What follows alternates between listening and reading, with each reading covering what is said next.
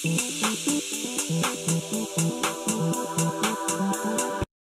tal amigos de Peresmar? Mi nombre es Juan José Daniel y hoy día le traemos el video análisis del Samsung Galaxy M31.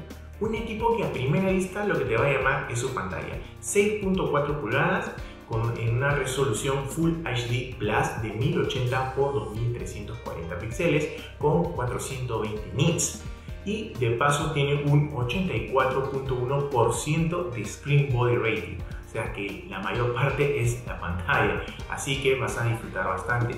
Y quiero decir que me gusta mucho que Samsung en esta gama haya apostado por una Super AMOLED, porque te trae grandes ventajas como el Always On y muchas cosas que veíamos en el caso de las AMOLED. Debo decir algo a primera vista, de hecho, que con la sensación que tú tengas en el equipo en las manos no es tan premium. La parte de atrás es plástico, si bien es bastante llamativo por el color que nos han dado, pero sigue siendo plástico.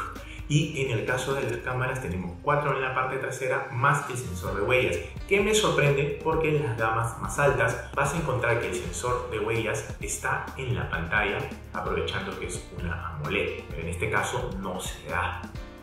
De hecho, me ha gustado bastante y no lo voy a negar. Y entrando ya a procesador, venimos con un Exynos 9611 con un GPU Mali.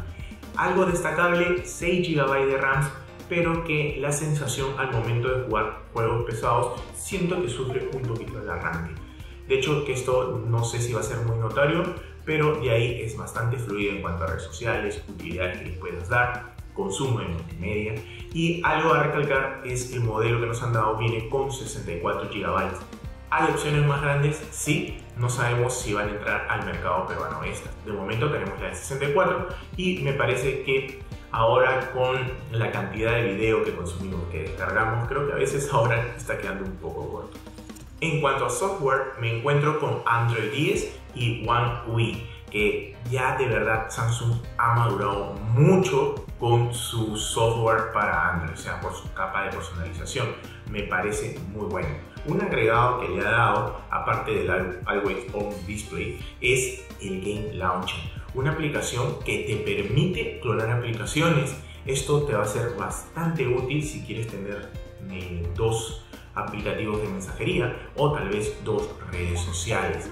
De paso, algo que sí no ha incluido Samsung es de Samsung Pass que es el gestor de contraseñas, ¿no? Y que tal vez, eh, si quieres un poquito más seguro, algo más fácil, no lo vas a tener.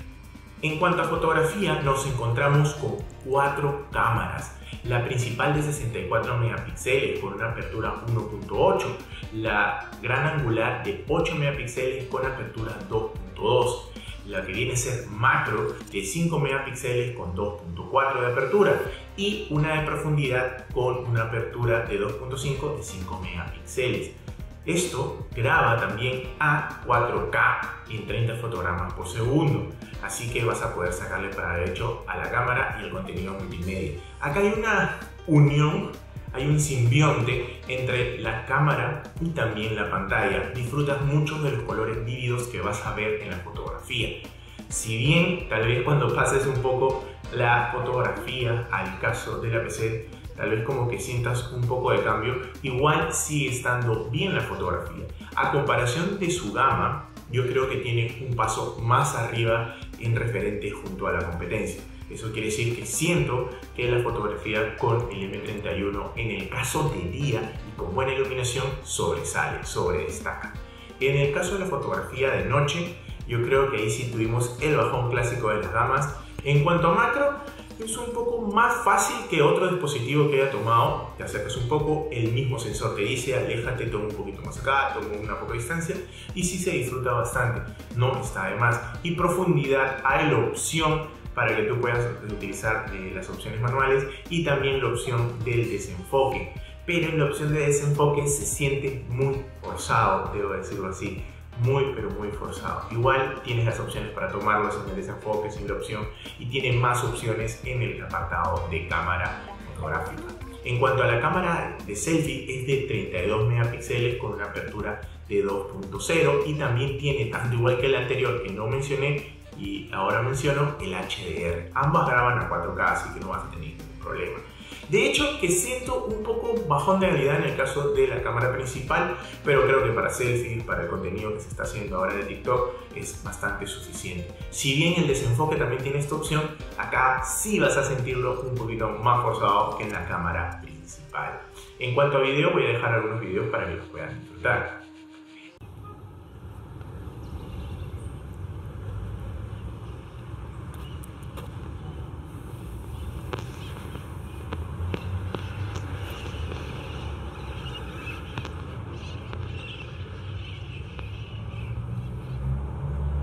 En la batería sí me sorprendió bastante, 6000 mAh, algo que no todos los dispositivos traen y que yo quisiera que bastantes traigan. De hecho, le hemos sacado casi dos días en un buen uso y en un súper así, un uso bastante eh, cuando juegos se va casi en un día y medio, así que puedes disfrutar bastante. Yo creo que sin usarlo tanto y tenerlo por ahí va a durar un poquito más. Pero me siento bastante confiado al tener tanta batería y poder salir a calle. Hasta te podrías olvidar de cargar si lo en conclusiones, tenemos un teléfono bastante estándar y que sobresale en dos o uno que otro tema.